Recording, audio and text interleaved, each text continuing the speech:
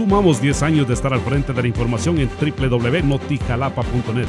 Gracias a ustedes seguimos creciendo, aprendiendo y mejorando, aunque a los del poder no les agrade.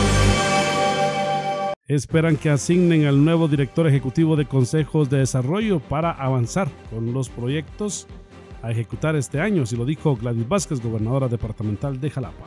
El día de ayer por la mañana eh, se nos informa ah, de la destitución del director del Consejo de Desarrollo y estamos a la espera, ¿verdad?, de que la Secretaría Ejecutiva de la Presidencia pues nombre a la nueva persona que va a ser el, el encargado de la, de la, dirección del Consejo de Desarrollo. ¿Usted no tiene conocimiento nada de No, no tengo conocimiento, eso directamente es de la Secretaría Ejecutiva de la Presidencia. Entonces estamos a la espera de que sea nombrado el nuevo director. ¿Se sabe alguien que se quede a cargo de ese eh, por el momento eh, tenemos el respaldo de la jefa financiera del, de los consejos de desarrollo, que es la persona que, que nos está apoyando ¿verdad? en los temas.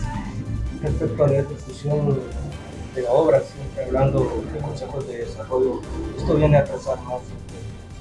Definitivamente, porque tenemos que esperar a que designen al nuevo director eh, hacer todos los trámites administrativos, que eso pues lleva un tiempo, ¿verdad? En registro de firmas, en acreditaciones, para que las personas pues podamos eh, iniciar con el proceso de, de, ejecución. Entonces sí, definitivamente atrasa un poquito el proceso de ejecución, pero esperemos en, en Dios que sea lo más pronto posible para que se pueda iniciar el tema de, de proyectos, ¿verdad? Para finalizar. Para los T21, los Chapines y el mundo, notijalapa.net.